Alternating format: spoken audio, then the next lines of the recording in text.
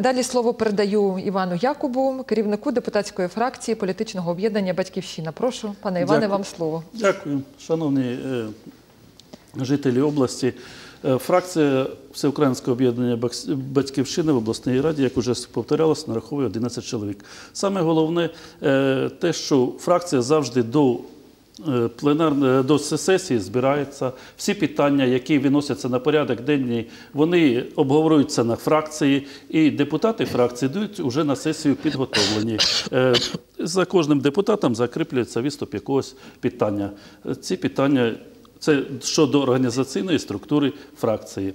Ем, е, Головне саме досягнення фракції батьківщини чи напрямок, е, так як все- Українська об'єднана батьківщина вона стоїть на принципах соціального захисту населення в Україні, це е, звернення.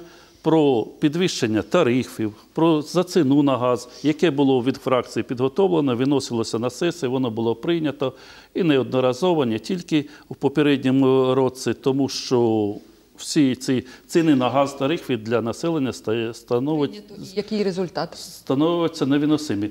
Результату, як бачимо, нема, тому що на сьогоднішній день, як в обласній раді, так і в Верховній Раді, е, в фракція Всеукраїнського об'єднання Батьківщина вона не входить у більшість, яка приймає рішення, пані Ірино.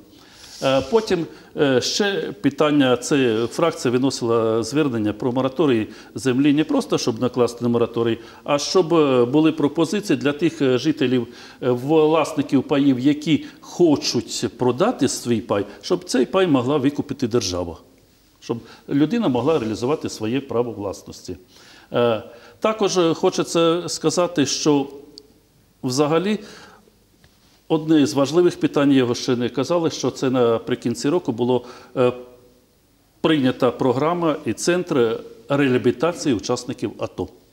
Тому що ми знаємо, що всім хлопцям цим потрібно проходити реабілітацію після е, військових дій на Донбасі.